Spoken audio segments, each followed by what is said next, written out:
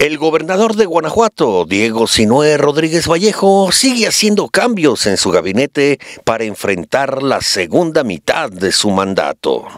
En esta ocasión, el gobernador anunció que Paulo Bañuelos Rosales será el nuevo secretario de Desarrollo Agroalimentario y Rural, en lugar de José Francisco Gutiérrez Michel, a quien agradeció por su trabajo y profesionalismo y le deseó éxito en su nueva etapa en la iniciativa privada. Amigas y amigos guanajuatenses, les habla Diego Sinué, gobernador del estado. Hoy quiero informarles de un cambio en mi gabinete en la Secretaría de Desarrollo Agroalimentario y Rural.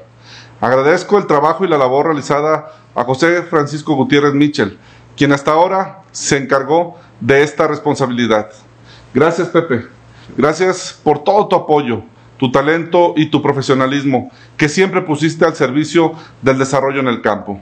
Te deseo mucho éxito en esta nueva etapa que decides emprender en la iniciativa privada. Y para ocupar la titularidad de esta secretaría, he decidido nombrar a Paulo Bañuelos Rosales. Paulo, bienvenido.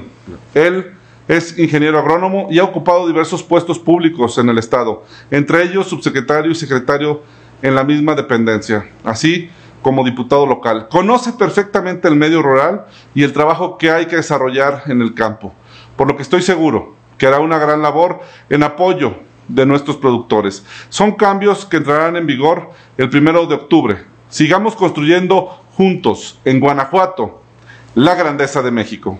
Para el sistema de noticias de TV Guanajuato, con imágenes de Odette Segovia, informó Denec Insunza.